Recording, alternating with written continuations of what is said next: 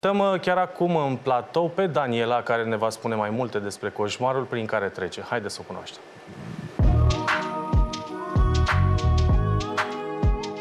Bună seara, doamnă! Bună seara! Vă rugăm poftiți, luați loc. Bună seara! Bună seara, doamna Daniela! Mă numesc Merlă Daniela Luați și loc, am vă rog. venit, mulțumesc, și am venit cu un mare necaz la dumneavoastră. Uh, În primul rând că s-au, uh, s-au strecurat niște mici uh, erori. Nu este vilă, este o casă pe pământ, construcție nouă. Uh, Da, ac- îi se mai spune și vila, Acoperișul, așa, într-adevăr- popular vorbind. Da, acoperișul e ok. Prin uh, geamurile de termopan curg, uh, curge apa în momentul în care plouă și uh, mi se scurge apa pur și simplu în, uh, în cameră. Și asta n-ar fi singurul dezavantaj, Uh, uh, uh, ci acela că atunci când ați trimis, cel mai important dezavantaj, uh, cel puțin din punctul meu Da. de vedere, Lumina. că le-ați trimis uh, colegilor noștri un filmuleț în care uh, practic v-ați înregistrat în casă și se vede cum e saburii din gura dumneavoastră. Atât de frig este în interior da. și nu aveți cu ce să vă încălziți. Uh, am un uh, reșeu, un reșeu, un convector. Calorifer electric, nu? nu? de un convector. Da. Uh, am un convector care stau cu mama mea în aceeași cameră, pentru că eu am acolo două camere și un living. Și baie și bucătărie. Deci nu este o casă foarte mare. Și cu toate astea, totuși, prețul a fost destul de piperat, având în vedere că nu, nu a fost 45.000 de, vorbim de euro, au fost 42.000 de euro. 42.000 de euro. Un preț destul de mare pentru la țară, undeva la 20-30 de kilometri de București, nu? Nu, e, sunt vreo 40 de kilometri. A, deci mai departe. Mai 40 departe. de kilometri. Eu sunt uh, bucureșteancă jet be jet din câteva generații și mi-am dorit foarte tare. Eu sunt un om care uh, nu pot fi țin, ținută într-un loc. Activitate maxim. Dacă se poate, 36 de ore din 24 ar fi perfect. Și cu toate, ați renunț, cu toate astea ați renunțat la aglomeratul București, Da. care vă dă Da. această adrenalină. De ce? Da. Uh, mi-am dorit uh, și am promis tatălui meu înainte să moară, mi-am dorit uh, această casă și tatăl meu m-a încurajat cu lucrul ăsta. Da, Și haideți, ați vândut uh, casa din uh, București pentru asta? Da. Nu? Bun, povestiți-ne de la început. Uh, Unde, la cine ați apelat ca să ajungeți la această Am casă? apelat la o agenție imobiliară. Acea agenție imobiliară nu am nimic ce să-i reproșez decât laude și atât. M-a dus la notar, a găsit acest imobil în uh, sat Cojasca și am zis, domne, e construcție nouă, nu m-am, pric- nu m-am priceput. Uh, o, o centrală pe lemne. Era, eu n-am crezut că e atât de, uh, într-un hal atât de deteriorată pe care o aveți și pe ecran acum. Uh, nu se putea folosi. Geamurile de termopan uh, erau la mâna a doua. Uh, nu se închid bine. Plouă în casă. Uh, caloriferele... Uh, dar am trecut peste astea. Ceea ce mă doare foarte tare... Ați trecut peste asta pentru că ați cumpărat-o în februarie această casă? În februarie a fost Da, uh, făcut da. actul În de februarie, pe vânzare-cumpărare? 19 februarie am uh, cumpărat-o și am trecut peste... Și v-ați mutat atunci? Atunci, Așa. Deci și nu stăteam- era la fă- fel de frig? Uh, Da, făceam uh, foc în uh, centrala respectivă și stăteam cu sticlele de apă lângă mine. Mi-era frică să nu ia foc. Zic, dacă cumva iau foc, o scot din priză și dau cu apă pe ea, n-am altă soluție. și ce făcea? Stăteați non-stop? Să nu ia foc Non-stop. lângă... Non-stop? Dar când ați fost să vedeți Incredibil. casa, nu ați fost cu cineva care se pricepe doar dumneavoastră singură? Nu știu, Am cineva fost cu un care prieten, a vizat? uh, un prieten uh, foarte bun din copilărie și el uh, a lucrat în domeniu. Mi-a spus, măi, casa e în principiu e ok, că sunt mici probleme de genul ăsta, hai că le rezolvăm, facem noi cum facem. Problema este că eu am fost cu electricitatea, e problema cea mai mare. Pe asta am urmat să vă întreb eu, pentru că într-o casă două lucruri trebuie în primul rând verificate. Uh, Partea de electricitate, nu domnul Balan, și uh, știu, da, nu- partea nu de mă electricitate, pentru că dacă nu este mm, bine instalația aceea, nu susține toată aparatura pe care este, plus uh, partea și tre- aceasta de trebuie încălzire. construită Da. Uh, cu specialiști în domeniu. Da, da, da, și Avizați partea de încălzire. Cei care fac această Uh, instalație plan al electrică. da. instalației electrice, care se găsește în contractul de vânzare și, și Exact, eu cumpărare, am nu? contractul de vânzare, în contractul de vânzare-cumpărare stipulează uh, precum că în termen de 3 luni de la cumpărare, eu am cumpărat-o pe 16 februarie, în termen de 3 luni se obligă prin contract să-mi pună uh, contoarul și, bineînțeles, stâlpii. Nu înțeleg de ce electrica nu face lucrul ăsta, că eu am mai puțin de 100 de metri până la Înțeleg că dumneavoastră nu aveți deloc acolo, da, am înțeles că aveți curent electric, vă încălziți cu un convertor. Există acest... Uitați-vă, uh, eu sunt legată de acest domn. uh, uh, Întâmplarea face că am fost gard în gard cu el. Cred că uh, din curtea dânsului s-a prelungit și sunt mai mulți în aceea situație. Deci există un dezvoltator care vă este și vecin. Acest Da, dezvoltator da. care a construit... uh, Da. Câte case a construit acolo în zonă? Sunt vreo uh, trei sunt vândute și trei uh, sunt nevândute, dar mai are loc să mai facă încă vreo două, trei. Și culmea, el vă este vecin. Da, Practic. da. Păi și v- n-ați Vânzătorul mers e să-i- vecin? Da. N-ați mers să-i Cel care a bateți la construit. poartă. Cel care a Cel care a construit, construit da, este da. vecin doamnei, da. Și n-ați fost, doamnă, până la el să-i bateți la ușă. Uite, suntem vecini, locuiesc aici lângă dumneavoastră. Am cumpărat casa asta ca un om care a vrut să se mute bună și sunt de bună credință, da. credință. Și uitați că pică casa pe mine, vorba Nu, aia. ca, nu, nu pică casa pe mine, problema este Dar de nici condiții curent. bune n-aveți să Nu. stați. Scuzați-mă. Nu, nu, nu am condiții bune, e vorba de, de lumină și de contoar. Problema este în felul următor.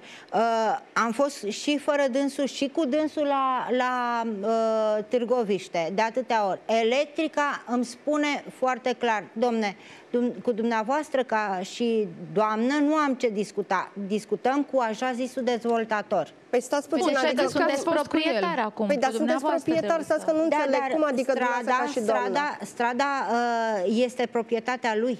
Păi și dumneavoastră, stați, strada e proprietatea... lui- Nu, eu nu Păi da, înțeleg. da, electrica face contracte separate Nu. de furnizarea Nu vrea. energiei electrice. Nu știu, ba are da, ceva electrice. cu dânsul, oricum mi-a vorbit foarte urât de dânsul, foarte urât. Deci în fața bă, băiatul dânsului s-a dat drept băiatul meu în fața la electrica. Vă mai spun și altceva. S-a, uh, s-a dus la ANRE și mi-a făcut uh, o plângere contra doamnei de la electrica, eu nefiind acolo. Eu nici nu mi-am pus semnătura pe acea... Pe Păi nu acea. avea cum, dacă nu avea buletinul dumneavoastră, nu avea cum să Are, facă. bule, are toate datele de buletin în contractul de vânzare-cumpărare. Și Nu mi-a știu, știu că folosit... plângerile astea se fac personal, adică nu poți să trimiți o Știu. plângere doar așa să Eu Bun, m-am- deci altcineva. dumneavoastră spuneți așa, că Eu în m-am acest trezit. contract de vânzare-cumpărare există o clauză prin care se stipulează foarte clar că el în trei luni de zile se angajează să vă uh, aducă acolo curentul la poartă. Da, Da. vă cred, vă cred, știu că că, vă și reprezintă colegii pe noștri au dumneavoastră analizat uh, la, la documentele și autoritățile astea, așa este, vă așa poate scrie. reprezenta, Nu scrie mă poate clauza reprezenta- acolo. Nu mă poate reprezenta nimeni. Uitați, aici scrie clauza.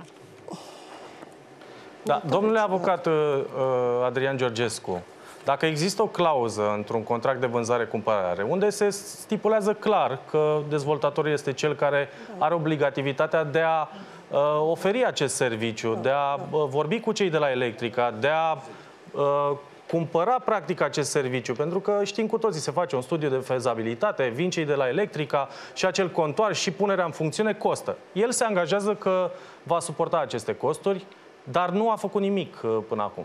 Ce poate să facă? Doamna în legătură cu curentul. Le luăm pe rând. Eu vă spun din proprie experiență, adevărul este undeva la jumătate. Întotdeauna investi- în cazul investițiilor uh, imobiliare, cel care este beneficiarul uh, tuturor autorizațiilor, inclusiv de racordare la uh, energia electrică, este dezvoltatorul imobiliar. Că ulterior, după finalizarea investiției imobiliare, cu ocazia parcelării terenurilor respective, uh, acele racorduri se transferă către titularii dreptului de proprietate, către cumpărător, cum este și cazul uh, dumneavoastră, este un aspect uh, față de care eu cred că dezvoltatorul imobiliar și-a respectat, uh, și-a respectat uh, clauzele contractuale. Repet, este beneficiar al autorizației de construcție. În spatele autorizației de construcție erau toate aceste autorizații pe numele dezvoltatorului imobiliar.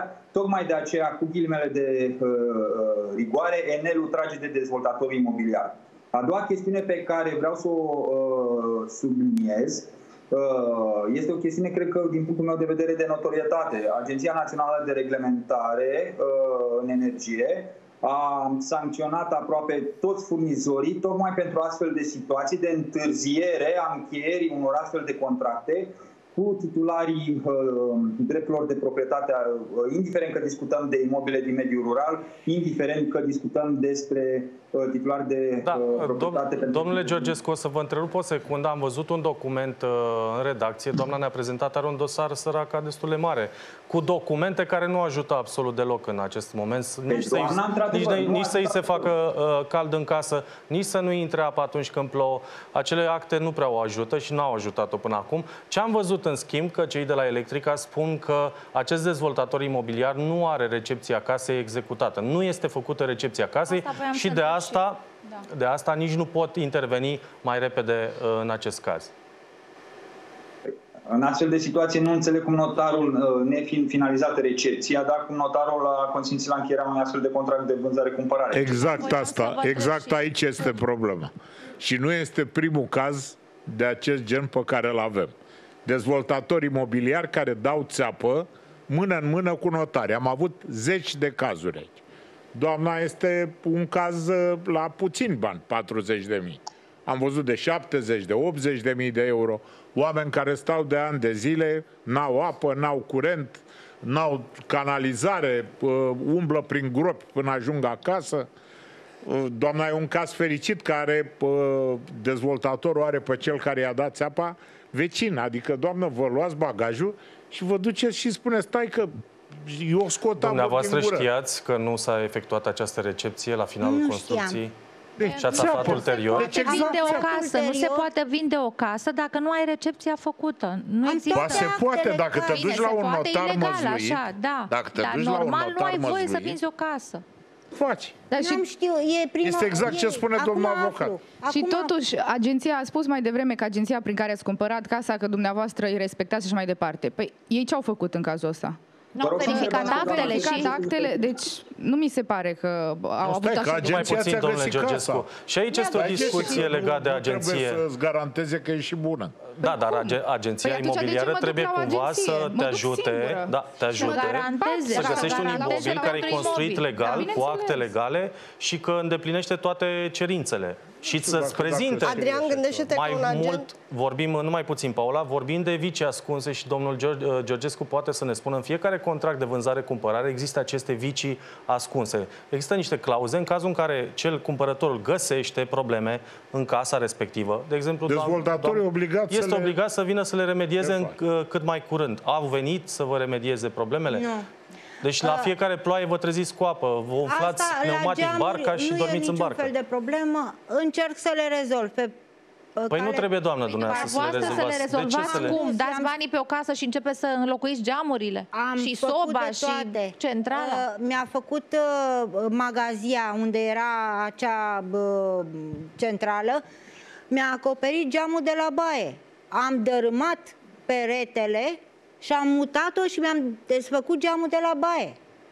Păi și vi se pare normal? Nu mi se pare normal Adică deloc. de ce și să dăm un exemplu de precedent? De ce oamenii să se, asta să, să se mulțumească mai... cu așa ceva și să înceapă să investească și mai mult, Problema nu? este că mai sunt încă doi uh, în aceeași situație ca mine, casa de lângă mine și casa cealaltă, care tac. Iertați-mă că vă întreb. Uh, actele cu ceilalți vecini ai dumneavoastră în aceeași situație s-au încheiat la același notar? Cred că da. nu am, uh, nu am o certitudine, dar cred că da. Ia ziceți, domnul avocat. Este evident, dar eu mă așteptam la un astfel de răspuns pentru că fiecare dezvoltator uh, imobiliar își are, își are propriul, uh, propriul notar, da? Dar, repet, ceea ce pe mine mă surprinde extraordinar de mult este cum un notar a consfințit la încheierea unui astfel de contract, dacă nu cumva este vorba de promisiune de vânzare-cumpărare și nu e promisiune uh, contract sau de vânzare-cumpărare. Vânzare, nu, este un contract Ați de achitat toți banii tot. tot. Promisiune sau contract? Că... Contract? Deci contract. Contract i-a dat banii femeia, numărați. În situația asta, ce aveți de făcut este, în primul și în primul rând, sesizare la Inspectoratul de Stat în Construcții, împotriva, și uh, de curiozitate, dumneavoastră aveți contractul în față, eu nu l-am. Uh, vânzător este cumva o persoană fizică autorizată, dezvoltator imobiliar, un PFA, nu știu A, de ce mi-aș spus. Nu, este un, SRL? pur și simplu e între două persoane fizice.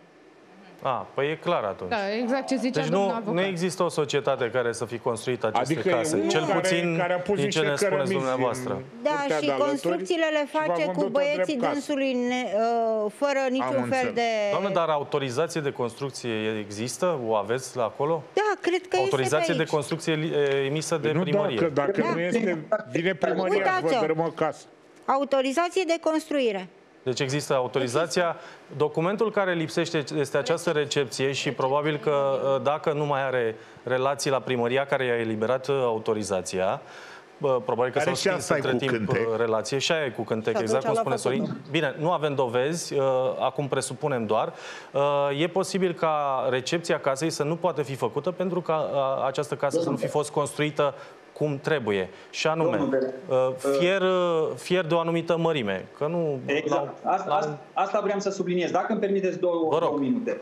Legea privind disciplina în construcție stabilește în mod clar în ce condiții uh, un imobil poate să fie edificat. Da? În spatele autorizației de construcție trebuie să fie certificate de urbanism, trebuie să fie acorduri de racordare la uh, gunoi, electrică, Utilități, uh, da. canalizare, utilități în general. Uh, și cel mai mult ce vreau să subliniez, uh, legea impune în mod strict și dacă nu mă înșel, legea privind disciplina în construcții sancționează ca și contravenție executarea de lucrări fără un diriginte de șantier. Aici lucrurile se disociază între mediul urban și mediul rural. Sunt foarte mulți primari în mediul rural care închid ochii când emit astfel de autorizații de construcții și de asta uh, apar persoane, bineînțeles că dezvoltatorii imobiliari știu și cunosc foarte bine cum, uh, cum merge piața construcțiilor, dar uh, eu am curaj să fac pariu cu dumneavoastră că toate aceste construcții, da? eu nu pot să le numesc construcții, pentru că o construcție trebuie să respecte niște uh, reglementări legale, sunt făcute fără uh, acordul uh, unui, unui diriginte de șantier care la rândul lui răspunde alături de proprietar pe fiecare fază de execuție. E, toate aceste uh, reminiscente îi dau dreptul, în opinia mea, doamnei, să, se, să formuleze inclusiv plângere penală, dar primul pas, din punctul meu de vedere, este ca mâine, dacă puteți, să vă duceți la Inspectoratul de Stat în Construcții Dâmbovița, anexați toate acele acte, atașați copii după autorizația de construcție și cu siguranță reprezentanții de acolo se vor uh, deplasa la fața locului pentru luarea măsurilor legale.